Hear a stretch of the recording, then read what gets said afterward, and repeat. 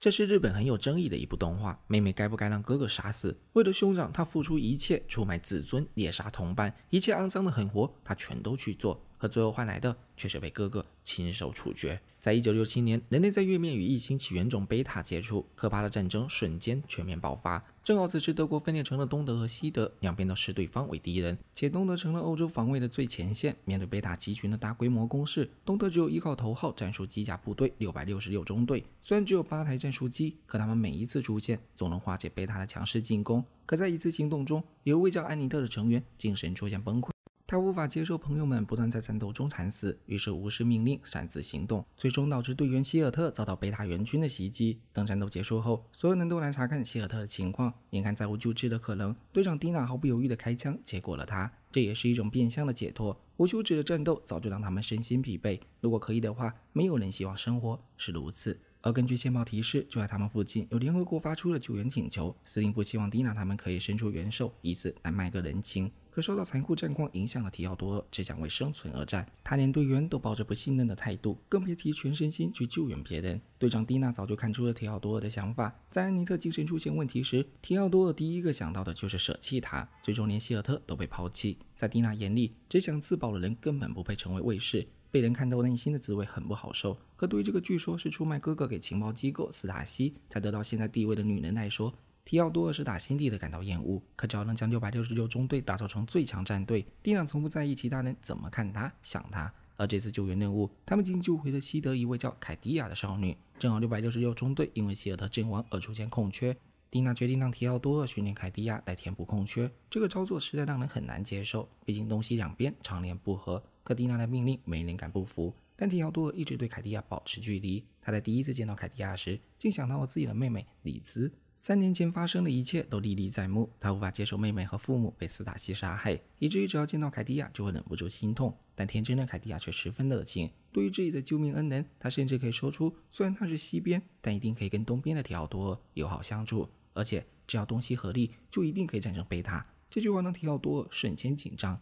连忙拉着凯蒂亚来到一处无人的地方，他神情严肃地怒斥凯蒂亚：“敌人不只是贝塔，周围的人类也全都是敌人。斯塔西的耳目无处不在。凯蒂亚之前的言论会被当成叛国者处理，然而凯蒂亚却一点都不畏惧。他来到东德是带有目的的，他想要找到自己的父亲提奥多。不知道为什么，在得知这个原因后，竟主动帮助凯蒂亚在基地内查阅关于他父亲的各种资料。可系统上有关他父亲的资料全被斯塔西抹除。他连忙找到凯蒂亚，让他放弃调查，否则有可能他们也会被斯塔西抹杀。提奥多的父亲已经失踪多年，他的情况跟凯蒂亚父亲完全一样，仿佛东德根本就没有这一号人物。迪奥多从没有想过改变现状，他只想苟活着。但凯蒂亚却不想逃避。如果连自己父亲被抹除的真相都不敢面对，那么一切都就此结束。凯蒂亚的每一句话都给了迪奥多极大的冲击。就在他有些不知所措时，远处的警报声响了起来。贝塔在这时发动进攻，凯蒂亚的战斗能力已经在测试中得到了肯定，所以他便一同与六百六十六中队参加这次战斗。然而这次行动却遭到了前所未有的突袭，斯达基承诺的援军也并没有及时赶到，甚至上级还在这危急关头强行指令派遣两台机甲去别处增援。明知道这样的操作有可能会让两人丧命，但为了不让领导层怀疑其忠诚心，蒂娜率先命令范士兰和凯蒂亚前去支援。正如他们所预想的一样，仅凭两台战机根本无法完成救援。范士丹更是为了保护凯蒂亚遭受贝塔攻击而生死未卜。至于蒂娜这边的主战场，最终以牺牲一位少校而暂时击退了贝塔。他们回到基地，也收到范士丹战机遇难的消息，可没有命令，他们只能眼睁睁看着同伴遇害。更有甚者认为，反正他们必死无疑，也就不用白费力气。提奥多嘴上赞同这样的想法，可在深夜休息的时候却辗转反侧。一想到凯蒂亚可能死去，他就忍不住想到被斯塔西挪走的妹妹。在被惊醒后，他决定不再与凯蒂亚有任何牵扯。然而有人却告诉他一个惊人的真相：凯蒂亚被调走绝不是偶然。必定是斯塔西故意安排，在五年前以凯蒂亚父亲为领导发动了政变，可最终以失败告终。但这份意志却被流传下来。提奥多万万没想到，继承这份意志的人，竟是被他称为斯塔西走狗的队长提娜。他出卖哥哥的目的，只是为了忍辱负重的活下来。对斯塔西的憎恨使他心生愧疚。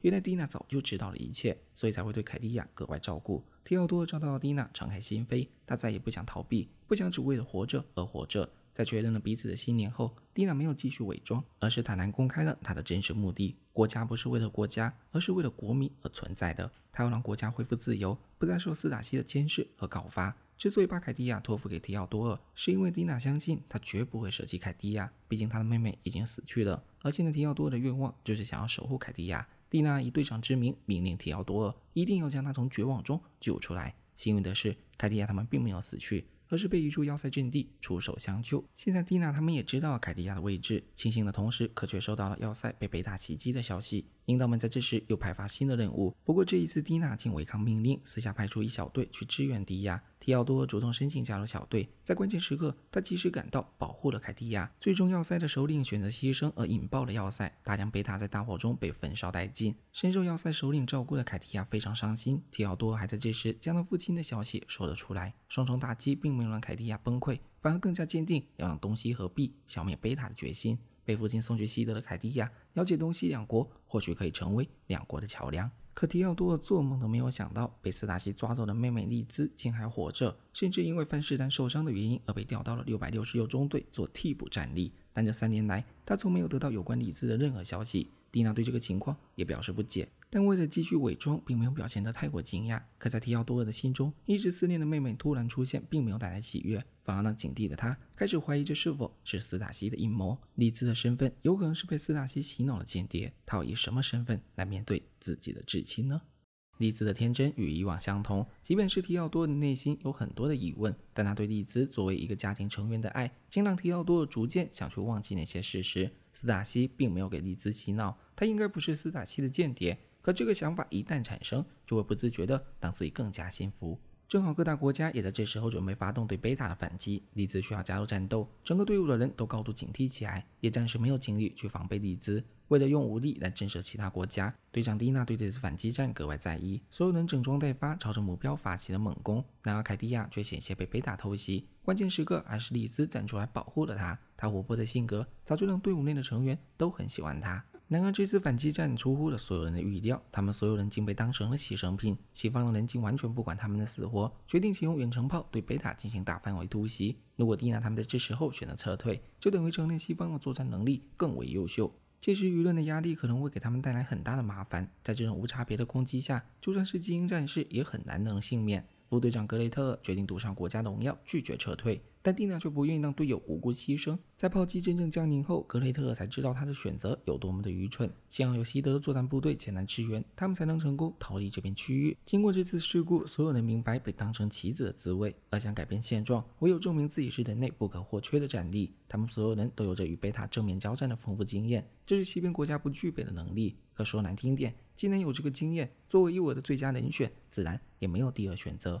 而在隔天的新一轮战斗中，西边国家的远程火力让提奥多和他们感到震惊。有这样的能力，真的还需要他们这些前线战士吗？但是他们所有人都低估了贝塔的实力。西边国家的作战计划出现巨大漏洞，大量贝塔从侧翼出现，准备围剿联合军。远程火力更是被光线级的贝塔拦截，这样一来就需要正面发生肉搏。然而总部却要蒂娜他们继续待命，这样一来就能把锅甩给西边。蒂娜无法接受要有大量人员因此死亡，于是公然违抗命令，决定带着大伙前去支援。总部想要剥夺蒂娜的指挥权，认为他们这些人全部死光，也绝不能忤逆总部的命令。也正是这一番话刺激到了副队长格雷特。两大队长同时下令对联合军进行支援，总部只能躲在安全的幕后，无能狂怒。这次行动将会是首次东西合作。有了蒂娜他们的作战经验，隐藏起来光线级贝塔被他们找出，最后由西方强大的火力压制进行清理。但没想到，在浓雾中竟还隐藏着要塞级的贝塔。体型巨大，让人感到强烈的压迫感。不过，在东西合力下，竟真的完成了这次本不可能完成的支援。常年不和的两伙人，竟在战后互相搀扶。然而，提奥多尔也是在事后才知道，西方在后来还派出了援军。是凯蒂亚苦口婆心的劝说，才达成了真正意义上的首次东西合作。蒂娜他们所有人都被当成了英雄。可是斯塔西的阿克斯曼却来逮捕蒂娜，因为违抗总部命令的言论有叛国的嫌疑。虽然没多久，蒂娜就被放了回来，可他却带来了一个更加糟糕的消息：斯塔西的内部在进行权力争斗。明明被打还没有被消灭，可内战却已经打响。这些人是可以只为权势而放弃市民生死的狠人。阿克斯派还公然挑衅提奥多，在所有人面前揭露了里兹的间谍身份。他把如何侵犯丽兹的行为全都说了出来，把如何控制丽兹的方法也全都讲了出来。然而提奥多尔打死都不相信，丽兹在之前作战时多次冒死守护队友，他认为这是阿克斯曼挑拨离间的手法。可中队的其他队员却不这么认为，他们决定对丽兹进行审问关押。可不管众人如何劝说，提奥多始终坚信丽兹绝不是斯塔西的间谍。后来队长蒂娜也不再执着这个问题，而是把对利兹的监督任务全都交给了提奥多尔。他相信眼前这个男人绝不会意气用事。现在有十万贝塔集结，新一轮的战斗一触即发。而斯塔西的暴走已经表现在明面上，很多地方领导即使知道，可却无法阻止。好在这一次，有人联合了中队，想要彻底扳倒他。但意外总是来得非常突然，以蒂娜为首的中队被彻底解散，只因为利兹竟在一次艰难的行动完成后，趁着所有人最虚弱的时候里应外合。他的真实身份竟真的是斯塔西的间谍。除了提奥多尔和凯蒂亚幸运逃走，昔日的伙伴全都被利兹拿下，等待他们的将会是惨不忍睹的审讯流程。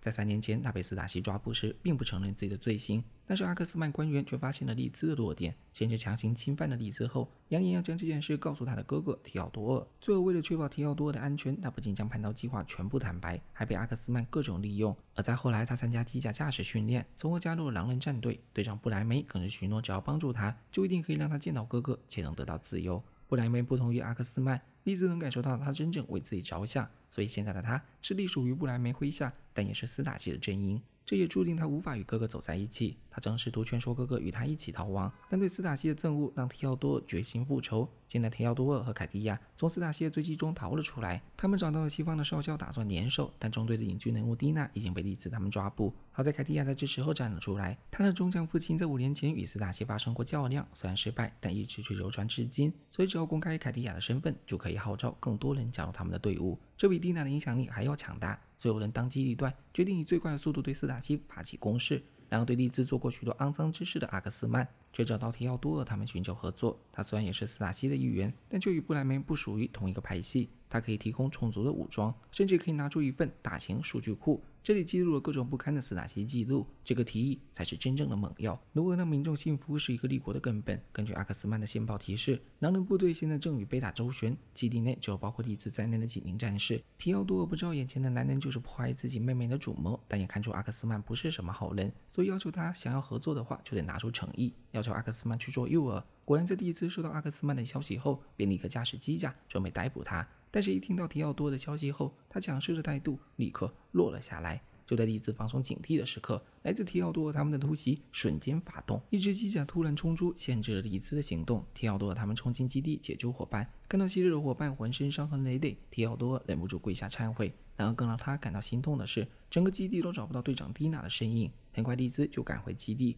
所有人都必须立刻撤离。提奥多负责拦住利兹，直到这时，利兹都还想劝降提奥多尔。他在斯塔西的这些时间，身体灵魂早已变得肮脏不已，而之所以会变成这样，都是因为他想要守护提奥多尔，哥哥就是他的精神寄托。可在见识到哥哥心中一直挂念着蒂娜后，他的希望破碎了。只见利兹瞬间黑化，朝着提奥多尔冲了过来。关键时刻是队友范士丹吸引了利兹注意，但他的结局竟是被利兹残忍的杀害。在见识到利兹的狠辣后，提奥多尔内心再也没有丝毫犹豫，他一定一定要亲手杀了利兹。而这一次突袭也彻底打响了内战号角。布莱梅的上级竟公然在电视中颠倒黑白，利用蒂娜的惨状来控诉提奥多尔他们的恶行。但真正的胜负还是需要通过战争。提奥多尔他们准备与西德合作，这是斯大西不愿意看到的景象。他们也调查到了提奥多尔他们准备交谈的地点，可万万没想到，这竟是一个陷阱。提奥多尔他们准备充足，这次战斗竟隐隐占据上风。利兹也终于和提奥多尔展开争斗，最终提奥多尔找到机会给利兹的机体致命一击。他哭着望向眼前这个为自己牺牲一切的妹妹，为了大局，也为了拯救她，提奥多只有将她亲手杀死。而黎兹似乎对这个结局并没有感到恐惧，看到哥哥落泪，他竟带着笑容而终。随着黎兹的战败，提奥多他们取得了绝对的胜利。走在前线的布兰梅收到这个消息后，立刻带着狼人部队赶回。然而与贝塔交战多时的他们，并没有充足的燃料与提奥多尔他们发生战斗。在击毁格雷特尔的基地后，他们袭击了司令部，便立刻选择撤退。所有人都没有想到，这个冲在最前线、拥有最强战斗经验的布莱梅，竟才是挑起这次战争的主谋。他才是斯大西背后真正的掌权人。阿克斯曼也早就脱离原本的派系，而私下成为他的部下。布莱梅的上级更是被他无情处死。击毁格雷特也是阿克斯曼心上，打算让他加入。在被拒绝后，他竟想要杀死格雷特，但好在被赶来的援军救下。而凯蒂亚在电视上公开自己的身份后，得到无数民众的支持，这是布莱梅万万没想到的意外。逃走的阿克斯曼找到机会带走了蒂娜，试图得到蒂娜的助力，重新扳回一城。然而他低估了这个女人为了让国家恢复自由的决心。双方举枪，同时开枪，这个贯彻黑暗的魔头阿克斯曼终于倒了下去。为了目的，他可以两边倒，没有任何立场。他的惨死也是给了利兹一个交代。至于布莱梅则被提奥多他们围剿，最终也无力回天而被击败。就在即将获得胜利的时候，贝塔竟突破了最前防线。好在希德竟在这时提供援助，挡住了这群外来物种。而提奥多也在收到蒂娜遇难消息后，便火速赶了过去。他抱着蒂娜诉说着过去，可最终蒂娜还是死在了提奥多的怀里。斯达基的控制在几个月后被彻底瓦解，内部隐患解决后，所有人终于有精力可以团结对付贝塔。故事到这里也就差不多结束了。反明黑之宣告。除去故事背景的讨论，毕竟这是需要懂一点历史和政治才能明白的。观众最在意的就是男主与妹妹之间的纠葛。有人认为妹妹只有死在哥哥的手上才算是解脱，但有人则认为哥哥没有资格救赎妹妹。在妹妹死后，就连本作呼声最高的队长蒂娜也牺牲了。亲情和爱情在现实和理想下显得如此脆弱，各种刀让观众看的是倍感揪心啊！